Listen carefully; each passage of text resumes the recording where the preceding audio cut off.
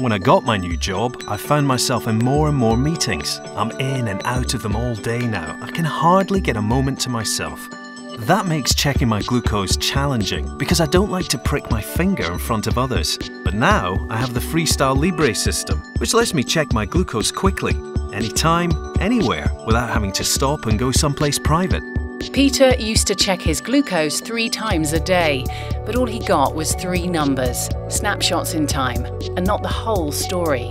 After a quick scan, Peter sees his glucose number and trend arrow. His trend arrow tells him if his glucose is staying steady, going down slowly, going down quickly, going up slowly, or going up quickly.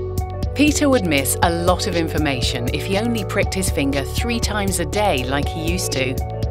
But with his Freestyle Libre system and glucose trend arrow, he can see that as he leaves for work, his 73 reading is going down. And he can choose to eat something to stop it from going even lower.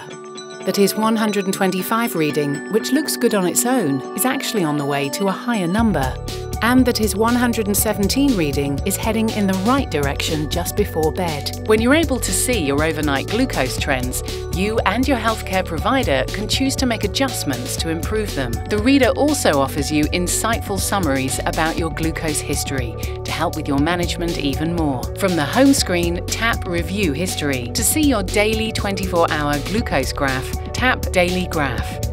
Use the arrows at the bottom to cycle through different days tap OK to return to the menu.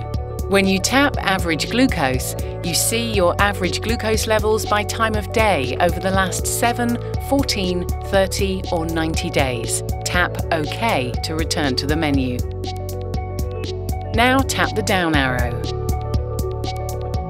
Tap Daily Patterns to see your glucose levels from the last 7, 14, 30 or 90 days compressed into a single 24-hour glucose curve. Tap OK to exit. Tap Time in Target and you can see that over the last seven days, your glucose levels have spent 54% of their time in your target range.